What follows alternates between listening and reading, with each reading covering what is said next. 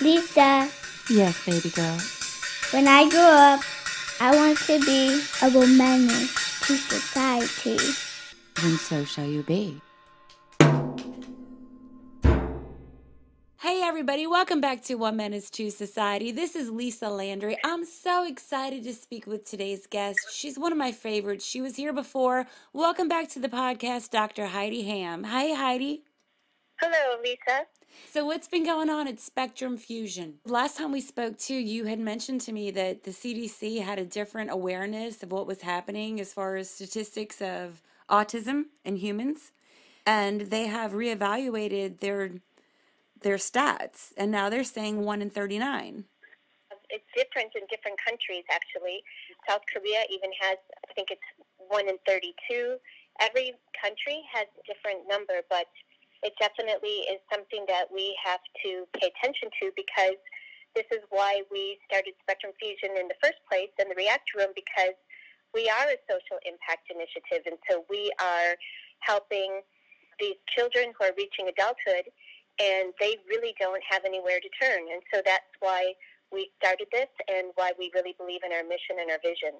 And you help place autistic adults with jobs that are more like careers instead of places that they go to, like working at Goodwill, for instance, or stacking items in a You know. I think I mentioned last time that there is a man on the autism spectrum and he's been shelving books at a library for eight years. And he has been looking and looking and looking for another position, going to all the different organizations, trying to seek assistance. And he was really getting to the point where he was falling into despair. And he told me, you know, I wake up every morning and I wonder what is the poison I'm going to have to drink today because I don't have any options. But anyway, he is going to start with us here at Spectrum Fusion on Monday. We hired him, and then we will bring him into the Reactor Room program, and we're going to help him find new opportunities. what kind of opportunities is he looking for? Um, He's actually even has a degree in database management. So here he was working in a library, and he wanted other opportunities. And so I asked him if he would just create a database and enter all of the books that I had, so I could keep track of everything. And he did that. He's helping us with a social enterprise. We have an oculoplastic surgeon who has commissioned us to make eye compresses for his surgical patients who require heat compresses after their surgical procedures. hmm And so we are now making those eye compresses. He's ordering all the supplies and the materials for that. And so that is taking off. But he is looking for opportunities really in anything related to database management. He has knowledge in QuickBooks. He wants to archive documents. So I think anything along those lines. And he lives in Houston. And he's with you right now? Well, I have Will here. Yeah. And Will, so I think I may have shared his story with you. He has a degree in psychology. He graduated in a talented and gifted, gifted program, K through 12. He was working at a dead end job at a comic book store, but really everybody thought that, you know, as long as he had a job, that, you know, that was fine, that, you know, he, he ticked that box and let's all move on. But he really wanted to be a writer. So we brought him into the Reactor Room program, and on his panel, the, we have activators. So our Reactor Room, as you know, I think I've shared with you, but you know, we, we learn about somebody's skills, talents, strengths, ideas, and passions, and then we create an event just for them where we bring in entrepreneurs, business leaders, community connectors, and individuals knowledgeable about their area of interest. And so we call those activators. And so on his panel, we had an editor and we had other entrepreneurs. And so they brought connections, and then he published his first article. And then he was writing our blog, and he, he wrote a blog for Hire Autism. hmm And then now he has a job as a writer with a company called SEO 411, and I can let him share more about that. But he is definitely on his way to being a writer, as you know, that was his dream. That's fantastic, Heidi. Yeah, that is it's really exciting for us. It's a very exciting outcome. I would love to hear more from him since he's right there. Okay. Yeah, that'd be Yes. great. Hey, Will. Hello. Congratulations on your new successes. Oh, well, thank you very much. What comes next? Well, I'm going to be working with Spectrum Fusion some more on top of working with SEO 411. They've got me writing some advertisement materials. They've got me working on sprucing up their brochure and possibly writing uh, and editing a couple more advertisement materials like white papers and things like that. So that's on the horizon. And um, as, as long as I continue working with um, SEO 411 and keep working with Spectrum Fusion, more opportunities just keep cropping up. Is it better than working just stacking stuff at the comic book place?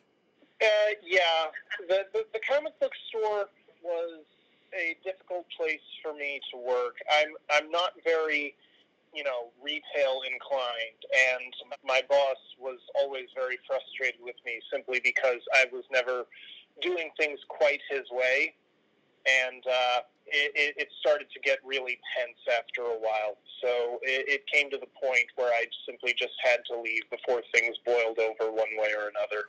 I think a lot of us have had job situations such as that. I'm glad you got out. It's not a fun situation to be in. Not at all. What is your favorite part about working with um, the reactor room?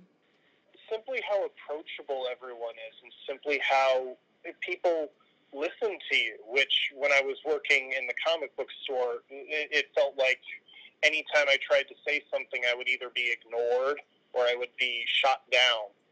And it's just such a friendly and approachable environment, and you feel free to work in the way that you're comfortable working, and everyone encourages you to work in the way you're comfortable working rather than conforming to some specific process that you might not be able to adapt to. It's a very comfortable and sometimes even relaxing place to work. And would you recommend spectrum fusion in the reactor room situation for other people who've been diagnosed as autistic adults?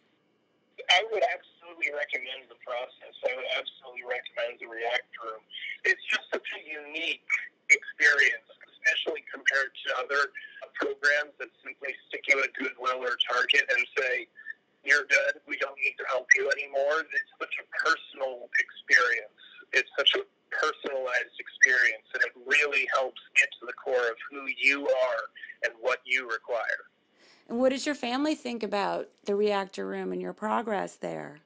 My family is ecstatic. They're, they, for so long, I was just stuck in a rut that, that now that things finally seem to be in motion, they're just absolutely ecstatic. Well, I'm ecstatic for you, and I can't wait to read some of your writing. Oh, well, thank you very much.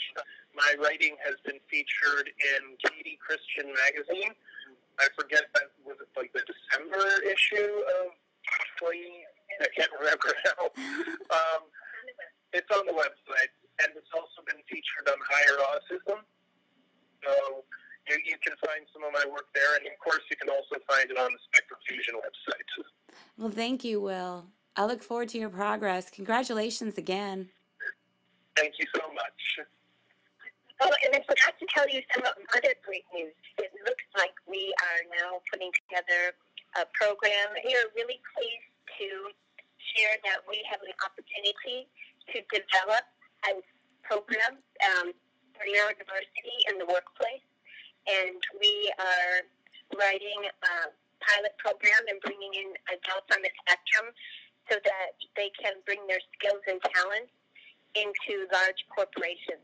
And so this is something that we're very excited about because, um, as we know, if we look at all the individuals who have differences in their um, cognitive processing, or what can sometimes we call them neurodivergent, or this is neurodiversity. If we're looking at no brain is the same, if we think about all the individuals who have ADD, dyslexia, autism, any other learning differences, that could really amount to 1.2 billion people across the world. And so if we're not really helping these individuals and bring their talents into the workplace, you know, not only are we doing a disservice to those families, but also we're losing all of that benefit that we can bring to our companies and have new and exciting outcomes. So you're saying 1.2 billion human beings on the planet would fall into some sort of classification of yeah, Neurodivergent. yeah, okay, that so yeah. basically mm-hmm. having a difference in cognitive style, cognitive processing than a neurotypical. And so really at that point, you know, we have to consider that we're missing out on, you know, all of these beautiful minds, and that is a shame. It is a shame. And then you think about people feeling isolated or devalued at these positions because they don't quote unquote think like everybody else. And you know, it's really important because a lot of times if people are hesitant to share that they maybe they feel uncomfortable in a certain environment or they feel that they're not accepted and that they don't belong, that really affects their performance and sometimes these individuals when they do leave they have trauma or they have PTSD and they don't want to try again. And so there was a program, a research program at Google where they tried to find the perfect team.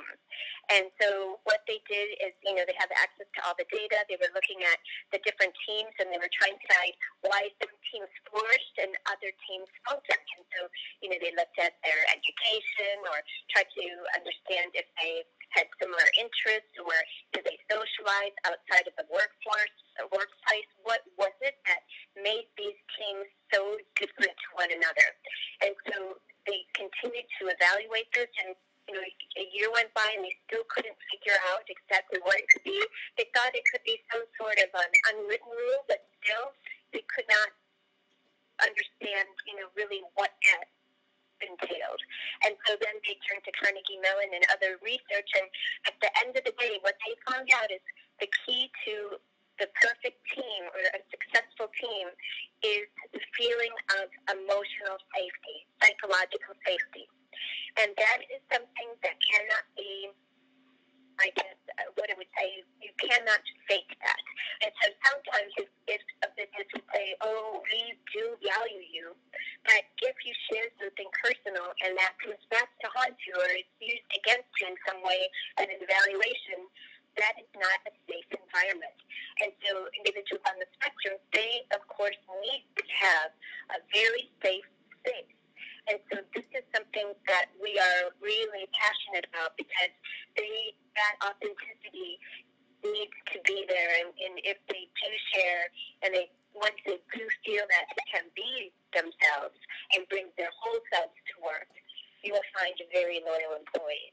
We are very excited about partnering with, with corporations to bring neurodiversity into the workplace and to provide a pilot program and to provide the framework to create success for both the adults on the spectrum and success in terms of the employer really gaining all of the benefits of having somebody on their team who is neurodiverse. I think you're amazing, Dr. Heidi Ham, and I thank you so very much for speaking with me and my listeners. Well, I'm really excited, and thank you so much, Lisa, for continuing to follow our journey and to be such a great supporter of Spectrum Fusion and all of our reactors. And so we really value that, and we value you, and we are grateful for this opportunity. I'm thankful for what you're doing, sis, and I wish you all the very, very best. Thank you so much. Thank you. Thank you so much, Dr. Heidi Ham. Thanks for all the research you're doing. Thanks for being such a pioneer. And thanks, Will. Congratulations. And y'all, thanks for listening. Please join me at lisalandry.com. Subscribe to my YouTube channel. You will know when each new podcast drops. Every woman is Wednesday. Shout out Ari Bear. I know you're a good researcher too.